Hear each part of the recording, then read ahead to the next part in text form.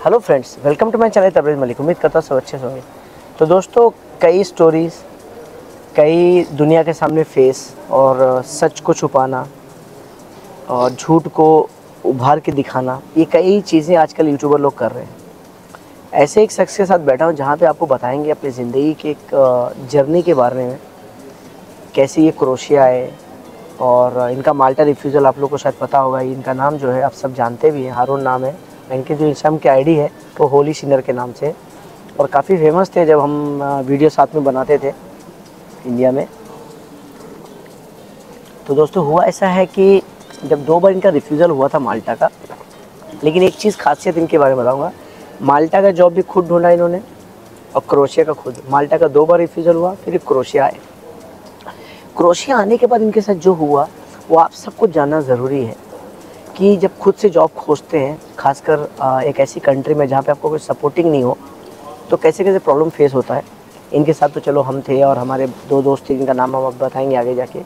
कैसे कैसे झेला? तो हारून स्वागत है मेरे चैनल तबरेज मलिक में जो कि आपका चैनल सबका चैनल है। हारून बहुत सारी चीज़ें चल रही है आजकल मार्केट में। बिल्कुल। रूमर्स जो रूमर जो होता है ना रूमर्स बड़ी बुरी चीज़ है। तुम हम लोग ने साथ में बहुत काम किए हम सेमिनार में आप आए हमारी बहन की शादी हुई थी वहाँ पे भी आए। वहाँ पे अपने क्रोशिया का फ़ाइल जमा किया था। आप देखते हो रात दिन में कैसे काम करता हूँ। जी बिल्कुल। मैं ये जानना चाहता हूँ हारून की ये जो सिचुएशन आपके साथ हुआ क्रोशिया आने के बाद खुद की नौकरी खोजने के बाद तो थोड़ा स्पीड में जानना चाहेंगे कि आप मतलब क्या क्या परेशानी आपको पहले क्रोशिया में हुआ फिर हम बात करेंगे कि कैसे आपको सपोर्ट टीम ने सपोर्ट किया। बताइए कैसे कैसे शुरुआत होती है एक्चुअल में मैं मेरी पहली जर्नी हुई सत्ताईस मई को जब मैं यहाँ क्रोशिया आया। उसके बाद मैंने 10-15 दिन नौकरी करी फिर उसके बाद वो नौकरी चली गई मेरी। अच्छा। ठीक है? हाँ। फिर उसके बाद क्या हुआ कि मेरे एम्प्लॉय ने मेरे को बोला कि अभी वो जो तुमको रखा है वो तुमको काम पे रखना नहीं चाहता है तो आप अपने से जाके दूसरी नौकरी ढूंढिए। तो मैं 20 दिन तक बहुत इधर उधर भटका मैंने बहुत कोशिश की जितने भी यहाँ पे जो यूट्यूबर है हाँ। जितने भी यूट्यूबर हैं उन सब यूट्यूबरों को मैसेज भी किया। उनके हाँ कि एक्चुअली मेरे पास जॉब नहीं है मैं जॉब की तलाश में हूँ। बहुत से लोगों ने हाँ बताता हूँ बताता हूँ करते करते शायद मेरे हिसाब से आज पाँच महीने हो गए होंगे। तो आज तक उनका आज तक उनका रिप्लाई नहीं आया। ओके ठीक है फिर उसके बाद मेरे एम्प्लॉयर ने मेरे को बोला कि मैं आपके लिए एक नौकरी ढूंढी आप वहाँ चले जाओ। ओके अब मेरे पास जॉब थी नहीं और मैं मेरे को स्टार्टिंग में ही मैं नया आया था और पंद्रह दिन बाद ऐसा हुआ फिर मैं वहाँ चला गया। वहाँ मतलब रहने का ऐसा था कि आप सोच नहीं सकते। मैं आया था आपके पास। आप आए थे। और मैं मैं खुद घबरा गया था। मैं चाहता हूँ कि उसको थोड़ी सी ऐसा चीज़ों में बताइए ताकि लोगों को समझ में आप किस जगह रहते थे। अब जैसे आप मान लीजिए आप कहीं पार्टी जैसे बड़े बड़े लोगों को देखा होगा जिनके फार्म हाउस रहते हैं वो साल में एक बार पार्टी करने जाते हैं। मैं एक्चुअली वैसी जगह ही पे था। मतलब जंगल के एकदम मेरे घर के पीछे से पूरा जंगल स्टार्ट होता है वहाँ पे लोग रहते नहीं है। जैसे यहाँ पे है ना कि लोग एंजॉय करने के लिए कहीं जाते हैं दूर। जी जी जी जी। उस टाइप की जगह पे मैं था। टाइप हो गया महाराष्ट्र हाँ हो वैसे कि हाँ। साल में या छह महीने में फैमिली के साथ जाते हैं। जाते हैं। मैं उस जगह रहा। वहाँ से आपको मार्केट जाने के लिए कम से कम चार किलोमीटर पहाड़ होके जाना पड़ता था। और कोई बस और ट्रांसपोर्ट की नहीं कुछ नहीं? अगर आपको बस के लिए कहीं के लिए भी बस पकड़नी आता आपको चार किलोमीटर पैदल जाना आप पड़ेगा। कह सकते हैं कि जो हॉरर मूवी में सीन होता है रात में आपके साथ वैसा होता था? अब रात को क्या मेरे घर के पीछे से जंगल स्टार्ट होता था। तो कभी कभी रात को जानवरों का साउंड भी आता था। और मैं एक्चुअली पूरे घर में सात आठ कमरों वाला घर बहुत आपने तो देखा होगा। जी, जी, जी। और मैं वहाँ अकेले रहता था वो मेरा दिल जानता था रात को मेरे से मेरे को रातों को नींद तक नहीं आती थी। और आई थिंक मेरे को जहाँ तक मालूम पड़ा था आप डिप्रेशन में चले गए थे। बिल्कुल मैं तीन तीन चार चार नींद की गोलियाँ खा के सोता था फिर भी नींद नहीं आती थी। ठीक है बताइए आगे की स्टोरी जॉब के बारे में सैलरी क्या थी आपकी क्या बोला गया था आपको? स्टार्टिंग में मेरे को बोला गया कि आपकी 800 यूरो सैलरी है। रहना खाना कंपनी रहना खाना कंपनी का जी। फिर यहाँ आया तो उन्होंने बताया कि 800 यूरो आपको बोला गया था पर वो नहीं हमको टैक्स भी पहले स्टार्टिंग में बोला गया हम टैक्स टैक्स के बाद आपको 800 यूरो देंगे। आठ सौ देंगे। फिर यहाँ पे आया तो बोला कि नहीं उसमें टैक्स कटेगा ये करके सैलरी मेरे इन हैंड 640 यूरो के आसपास आती थी। ओके। फ़र्स्ट टाइम जिसके पास मैं काम करता था उसके पास डिसाइड हुआ था कि आपको पर वीक खाने के पैसे मिलेंगे? क्योंकि आप जब यहाँ आते हो तो आपको फ़ूड का बहुत प्रॉब्लम होता है क्योंकि ये लोग बहुत अलग तरीके से खाना खाते हैं। तो उन्होंने बोला कि आपको पर वीक थर्टी यूरो हम दे देंगे। ओके। तो जो पहले वाली नौकरी थी उसने पर वीक दिया फिर उसने जब मेरे को दूसरी जगह भेजा ना काम करने के लिए हाँ। तो उसने स्टार्टिंग में बीस यूरो दिया मेरे को फिर मैंने बोला कि मेरा महीना पूरा हो चुका है पहले डिसाइड हुआ था आपको फ़ूड का एडवांस में पेमेंट कर देंगे हम। तो नहीं दिया आपको? उन्हों महीना पूरा होने के बाद मेरे को बोलना पड़ता था कि आज एक महीना हो चुका है। मेरे को पैसा दीजिए अब। तो मतलब आप ये कहना चाहते हैं कि जो आपको एम्प्लॉयर ने बोला वो उस पे वो जो कॉन्ट्रैक्ट। था उस पे वाजिब नहीं हुआ उन्होंने बिल्कुल दिया नहीं। आपको। बिल्कुल। गलत तरीके से। बिल्कुल। तो उसके बाद का स्टोरी क्या है? मतलब आपको क्यों छोड़ना पड़ा? नौकरी जो आपने छोड़ा क्या रीजन था छोड़ने का एक्चुअली में? एक्चुअली में एक तो वहाँ पे लैंग्वेज समझ में नहीं आती थी। ठीक है। किसी की भी बहुत प्रॉब्लम वहाँ पे किसी को इंग्लिश बोलनी नहीं आती थी। ठीक है। ठीक है आप कुछ बोलते वो कुछ और सुनते फिर वो गुस्सा भी करते थे आप ठीक है। ऐसे ही चलता रहा। तो नौकरी क्यों छोड़ा आपने वो? लैंग्वेज का बहुत इशू आ रहा था प्लस क्या वो लोग जो बोलते हैं वो करते नहीं है। तो आखिरी में जो कॉन्ट्रैक्ट चेंज करने की बात कर रहे थे वो क्या था? हाँ जैसे उसने बोला मेरे को कि अब है ना आपके हम कॉन्ट्रैक्ट चेंज कर रहे हैं मैं आपको एक कॉन्ट्रैक्ट भेज रहा हूँ। हम्म। अब आपकी सैलरी चार यूरो से घटा के तीन पॉइंट पाँच यूरो कर रहे हैं हम। मैंने पूछा ऐसा क्यों? तो बोल रहे मतलब साढ़े छः सौ मिलने वाला था वो आपको साढ़े पाँच सौ मिलता। हाँ अब बोल रहे कि हम आपकी salary three point five euro per hour कर रहे हैं।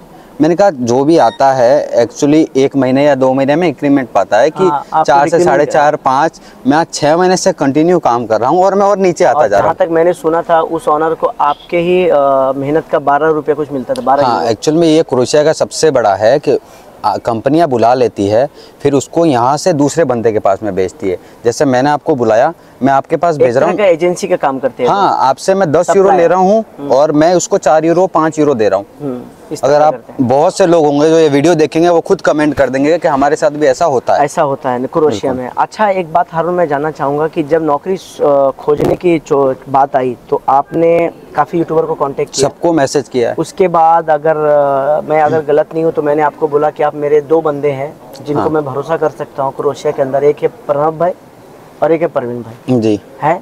जिनके वीडियोस भी कई बार क्रोशिया में आ चुके हैं। उन दोनों ने आपको किस तरह से मदद किया? कहाँ मतलब किस तरह की नौकरी लगाई और क्या सैलरी में लगाई? किस तरह की आपको मदद उनसे मिली है? सो इसको मैं डिटेल्स में बताता हूँ। एक्चुअल में जब मैंने इनको मैसेज किया था ये भी टूर पे थे शायद कहीं पे हाँ। तो हाँ। उन्होंने मेरे को बोला कि मैं आपको दो लड़कों का नंबर देता हूँ। आप उनसे बात करो वो आपको सेटलमेंट कर देंगे भरोसे लायक है। मैं उनको अच्छे से जानता हूँ। मैंने कहा, ठीक है। मैंने उनको मैसेज किया, क्योंकि एक्चुअली मैं बहुत परेशान था। जॉब से भी प्लस टेंशन इतना दिमाग में था तो उन्होंने बोला, इतना परेशान होने की ज़रूरत नहीं है, तुम आओ, हमारे रूम पे बैठो। उन्होंने मेरे को बुलाया, खाना खिलाया। एक्चुअली मैं उनको बोला कि मैं दस दिन से खाना नहीं खाया हूँ। मेरे को खाने की इच्छा नहीं होती है। नौकरी नहीं है, पागलों की तरह भटक रहा हूँ इधर उधर उन्होंने मेरे को बुलाया, सारी चीज़ें एक एक चीज़ें ध्यान से समझाई कि ये सब करने से नींद की दवाइयाँ खाने से तुमको कुछ नहीं होगा। जो डिप्रेशन में आप चले गए हाँ फिर उन्होंने मतलब अपने पास रखा अपने भाई की तरह समझाया मेरे को। फिर उन्होंने मेरे लिए जॉब की बात की और ऊपर वाले की दुआ से उन दोनों भाइयों की मदद से अभी मैं बहुत अच्छी नौकरी पे हूँ। वहाँ से तो डबल सैलरी है मेरी। पर यूरो मिल रहा है? मतलब जो पहले सैलरी दे रहा था ना उसकी डबल सैलरी अभी मेरे को। अच्छा। हाँ। बेहतर मतलब आप समझे कि अगर आपको साढ़े छः सौ तो लगभग हज़ार बारह सौ हाँ बिल्कुल। अभी उन्होंने जो मेरे को नौकरी दिलाई है इसलिए पूछ रहा हूँ कि यहाँ कमेंट फालतू में लोग नहीं करे कि मलिक भाई क्यों बढ़ा के दिखा रहे हो? क्योंकि मुझे ये पसंद नहीं कि कोई फालतू का मेरे को वीडियो पे कमेंट करे। क्या वाकई में आपको डबल सैलरी उन्होंने लगाया नौकरी बिल्कुल। उसके लिए आपसे कितना पैसा लिया? उन्होंने मेरे से कोई चार्ज नहीं। फ्री में? जी। मतलब आप कह सकते हैं कि ह्यूमनिटी बैकग्राउंड पे आपकी मदद की। बिल्कुल। भाइयों से भी बढ़ के मदद की अभी आप डिप्रेशन के शिकार नहीं अभी मैं बिल्कुल चैन से सोता हूँ मैं आपके साथ मैं आपके साथ एक नाइट रुक चुका हूँ तो मैंने आपको फील किया है कि आप बहुत सुकून से सो रहे थे। बिल्कुल। और सुबह आपने रोटी भी खाया सब्ज़ी भी खाया और हम थोड़ा सा बाहर भी निकले तो हमने उसको बिल्कुल। उसमें चेंजेस किया तो मतलब आप ये कहना चाहते हो आप क्या एडवाइस करना चाहते हो लोगों को? देखो पहली बात मैं एक चीज़ बताता हूँ आपको। मैं फ्री में आया था। और माल्टा पे भी मैंने नौकरी फ्री में ढूंढी थी पर माल्टा का मेरा दो रिफ्यूजल था। पर आप अगर कहीं फ्री में जाते हो ना जैसे मैंने डायरेक्ट कंपनी से कॉन्टेक्ट किया तो आपकी उसमें मतलब ऐसा है कि आपको कुछ भी करना है ना तो आपको अपने ऑनर को बोलना पड़ेगा। सपोर्ट नहीं मिलेगा आपको किसी बिल्कुल नहीं ऑनर फ्री रहेगा तो आपको जवाब देगा। वरना एजेंसी के थ्रू आए तो एटलीस्ट बोल सकते हो आप। एजें, एजेंसी के थ्रू आए चलो मैं कहता हूँ अगर मेरे को कुछ प्रॉब्लम है तो मैं एजेंसी को फ़ोन कर सकता हूँ। एजेंसी ऑनर को फ़ोन करेगा लड़के को ये प्रॉब्लम अब सोचो आप डायरेक्ट कंपनी में आए हो आप ऑनर को फ़ोन कर रहे हो मैसेज कर रहे हो वो जवाब नहीं दे रहा आप कुछ नहीं कर सकते। क्या करोगे? अगर मान लो आपके पास पैसे नहीं हैं ठीक है? आपको पैसों की ज़रूरत है। एजेंसी के मतलब एजेंसी तो कभी भी बल्क में बंदे भेजती है चार पाँच हमेशा आप साथ में रहते हो। अब जैसे मेरे कंडीशन में मैं अकेला जंगलों में मैं किससे मदद मांगने अच्छा जाऊँगा? मुझे एक बात बताइए हमने यहाँ की क्रोशिया के बारे में एक चीज़ सुना है कि जब आप किसी ऑनर को छोड़ते हो हम्म। तो क्या उसको टीआरसी हैंडओवर करना पड़ता है? जॉब चेंज करने के जैसे हमने जॉब चेंज करना है। हम ए कंपनी में काम कर रहे हैं बी में जाना है। हम्म। तो ए से बी के दरमियान जो भी पेपर वर्क होता है तो बी हमको देने वाला टीआरसी तो हमको ए को टीआरसी पुलिस को देना है कि उसको हैंडओवर करना है कैसा है? देखो वो डिपेंड करता है एम्प्लॉयर के ऊपर। सिंपल सी बात कहूँ। अगर उसके साथ आपका रिलेशन अच्छा है चाहे वो अच्छा नेचर का है या तो आप उसको ये बोल सकते हो कि जब मैं दूसरी बार टीआरसी लेने जाऊँगा तब यहाँ अपनी सबमिट कर दूँगा। यहाँ या पुलिस को? पुलिस को दे दूँगा। नॉर्मल ज़्यादातर वो ले लेते हैं टीआरसी ले लेते हैं। कई एम्प्लॉयर ऐसे भी होते हैं जो नहीं लेते हैं। वो मतलब हैंड टू हैंड हाथ से हैंड टू हैंड या तो आपको वो डायरेक्ट पुलिस स्टेशन ले जाएगा बोलेगा कि मेरे को इसका टीआरसी कैंसिल करना है मैं कैंसिलेशन कर रहा हूँ ये जा रहा है। तो आप इसका टीआरसी जमा कर लो। तो पुलिस वाले वो जमा कर लेते हैं। कभी भी आप टीआरसी कार्ड कैंसिल करवाने के लिए जाओगे खुद भी तो पुलिस वाले टीआरसी कार्ड ले लेते हैं। ले लेते हैं। Okay hmm. तो एक बात बताइए मुझे मुझे नहीं पता आपको इतनी डीप नॉलेज है कि नहीं। ये जो टीआरसी चेंज कराते हैं इनमें कितना टाइम लग जाता है दोनों कंपनीज़ के बीच में? देखो ये डिपेंड करता है आप कहाँ से वापस आपका नया कॉन्ट्रैक्ट और अप्लाई हो रहा है। तो जब आपका फॉर एग्जांपल आपका टीआरसी अगर कैंसिल कर देते हैं तो हमारे पास कितना टाइम होता है? जो लोग बोलते हैं नब्बे दिन होता है ये सच है? अब जैसे वराजदीन जो इलाका है ना हम्म, वहाँ क्या वर्क परमिट एक महीने के अंदर आ जाता है ईजिली ठीक है पर हमारा फिंगरप्रिंट लेट होते हैं। ओके ठीक है अगर आप वराजदीन अगर जैसे उसने वराजदीन से कैंसिल किया तो वहाँ नॉर्मली सात दिन में कैंसिल हो जाता है मेरे हिसाब से। ओके सात दिन में तो आप सात दिन के बाद नया जब तक पहला वाला कैंसिल नहीं होगा आप नया अप्लाई नहीं कर सकते हो। अच्छा लेकिन कॉन्ट्रैक्ट तो साइन कर सकते हैं। हाँ आप कॉन्ट्रैक्ट साइन कर दो। तो मतलब लीगल हो गया? लीगल। आप जैसे आप मान लो आपको डर किस चीज़ का है आपको कोई पुलिस पकड़े चाहे कुछ आपके पास दिखाने के लिए कुछ होना चाहिए। अगर आपके पास। आपके पास टीआरसी नहीं है तो आप उसको कॉन्ट्रैक्ट दिखा दो कि मेरे पास कॉन्ट्रैक्ट है मैं अपने वर्क परमिट का वेट कर रहा हूँ। वेट कर रहा हूँ लीगल है। वो वो बिल्कुल लीगल है। उसके अलावा आप मुझे एक बात बताइए जो आपको एक्सपेंस लोग खाने का देते थे या लेट देते थे तो मंथली कितना एक्सपेंस आता खाने का यहाँ पे?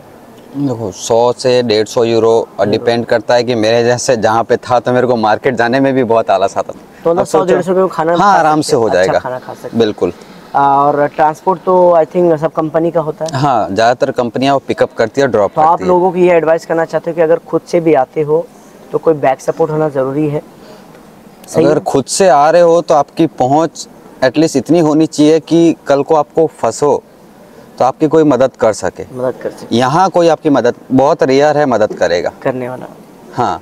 चले, ठीक है, काफ़ी हारून ने अपने बारे में बताया। हारून ने और हारून को मैं अक्सर एक चीज़ कहता हूँ कि हारून डरना इंसान के फितरत में होना ही नहीं चाहिए, क्योंकि डर आपको दबाता है, आपको नीचे लेके जाता है। हम लोग इसे जागरे बेर पे बैठा हूँ, यहाँ से मैं लिस्बोन निकल रहा था तो हारून को मैंने साथ में लिया और हारून को मैंने बोला, एक इंटरव्यू लेते हैं। क्योंकि आपके साथ जो हुआ है, वो दुनिया को मालूम पड़ना चाहिए कि कैसे आपको बोला गया सैलरी इतना मिलेगा कॉन्ट्रैक्ट पे इतना बोलने लगे, जब थोड़ा दो तीन महीना देखा कि बंदे का पैसा ज़्यादा और कम करने लगे, उसको प्रेशर करने लगे। लेकिन एक चीज़ बोलूँगा, जो क्रोशिया में लोग हैं, अगर आप कहीं परेशान हो, कहीं पे तकलीफ़ में हो और मुझसे जितना होगा, मुझसे जितना होगा मैं करने की कोशिश करूँगा। आपको एम्प्लॉयर से डरने की, अगर आपने इलीगल कुछ नहीं किया है, चोरी नहीं किया है, आपने किसी का कुछ लूटा नहीं है तो तबरेज़ मलिक कंसल्टेंसी को कॉल कर सकते हो। तबरेज़ मलिक कंसल्टेंसी जितना भी होगा तबरेज़ मलिक से जितना भी होगा, उतनी मदद करने की कोशिश करूँगा। अपने भाइयों के लिए हमेशा खड़ा रहता हूँ दोस्तों। तो मुझे लगता है ये इन्फॉर्मेशन बहुत इंपॉर्टेंट था जो एक चेंज एम्प्लॉयर करना चाहते हैं। मैं एक पॉइंट बोलना चाहूँगा। अभी बहुत से लोग होंगे जिन्होंने अपना वर्क परमिट अप्लाई किया होगा या वीज़ा का वेट कर रहे होंगे। वो सबको मैसेज करते होंगे क्या करें क्या करें। मैं आपको एक एडवाइस दूँगा। जब तक आपका अगर आपने मूड बना लिया आपको क्रोएशिया ही जाना है और आप या वीज़ा का इंतज़ार करें या वर्क परमिट का। तो आप थोड़ी थोड़ी क्रोशियन सीखना स्टार्ट कीजिए। वो आपको यहाँ पे बहुत बेनिफिट मिलेगा उसका। मतलब लैंग्वेज सीखना थोड़ा- तो थोड़ा- माल्टा में भी यही बात बोलता हूँ। हाँ आप फ्री हो तो क्या अब जैसे आप बोल रहे हो अभी तीन महीने में वीज़ा आता है नॉर्मली हाँ। अभी जो टाइम लग रहा था आप तीन महीने सोचते हो क्या करे कब आएगा कब आएगा। तो इससे अच्छा कि ऑनलाइन जो फ्री कोर्सेज हाँ थोड़ा बहुत नॉर्मली आप क्या करोगे तीन महीने? या तो रोज मैसेज करके परेशान करो जो उसके हाथ में नहीं है। हम्म, मान लो आप किसी एजेंसी से काम कर रहे हो और वीज़ा उसके हाथ में नहीं है। आप एक काम करो थोड़ी थोड़ी लैंग्वेज सीखो तो आपको उसका बहुत बेनिफिट मिलेगा। एटलीस्ट ऐसे कि हल्के फुल्की बातें कर हाँ जैसे मॉर्निंग ऐसे हाँ ये नॉर्मली है, आपको बहुत वो लोग भी बहुत खुश होते हैं ये सब सुनकर। बहुत अच्छा है और हाँ मैंने हम्म। भी गौर किया है की जब हम टैक्सी में बैठते हैं हम लोग कुछ एक वर्ड यूज़ करते हैं। हाँ, दो बरदान गोबरदान करके हाँ। तो बहुत खुश होते हैं। तो मैं ये देश की देखो किसी भी आप देश में उस देश की इज़्ज़त करो उस देश की कल्चर की उस देश की डाइवर्सिटी की उस देश में जो तरक्की हो रहा है, उस तरक्की में आप लोग इन्वॉल्वमेंट हो, क्योंकि आप टैक्स भरते हो, आप अपना टैक्स पे करते हो तो आपसे खुश होते हैं। तो जितने भी लोग इंडियन लोग हैं, पाकिस्तानी, नेपाली, हमारे बांग्लादेशी भाई यहाँ पे रहते हैं, देश की इज़्ज़त करो, देश की जो रूल्स है रेगुलेशन को फॉलो करो, इनके लॉ के हिसाब से चलो तो देश भी आपको सपोर्ट करता है। और सबसे बड़ी बात है, एक ऐसे देश में आप बैठे हो एक सपने लेकर आए हो यहाँ पे। उस सपनों को पूरा करने के लिए देश को सपोर्ट करना ज़रूरी है। अब जिस भी देश में माल्टा हो, पुर्तगाल हो जागरे में, क्रोशिया में हो, या फिर स्लोवानिया में हो, लिथुआनिया में पोल, कहीं पे भी हो, उस देश की ज़रूरत। तो कैसा लगा आज का वीडियो? क्या समझ में आया एम्प्लॉयर चेंज के बारे में क्या होता है? सैलरी क्या होता है? कैसे फेस करते हैं? काफ़ी इन्फॉर्मेशन दिया होल- हारून ने हमें। और इन्फॉर्मेशन बहुत सारे लोगों तक पहुँचना ज़रूरी है क्रोशिया के बारे में। तो दोस्तों, फिर से बता देता हूँ मैं सेंट्रल नंबर जो आप भूल गए होंगे व्हाट्सअप का double nine double eight double three double five eight four या आपका दिल्ली का जो नंबर है double nine double two three double five eight four और दुबई का number zero five six four nine three double five eight four या visa Malik at Gmail dot पर contact कर सकते हैं या तबरेज मलिक घंटे ऑफिशियल के इंस्टाग्राम पर मैसेज ड्रॉप कर सकते हैं। थैंक यू वेरी मच जाते जाते चैनल को ला सकते हो वीडियो को शेयर ज़रूर तभी दिल से सब कुछ शूट कर दोस्तों।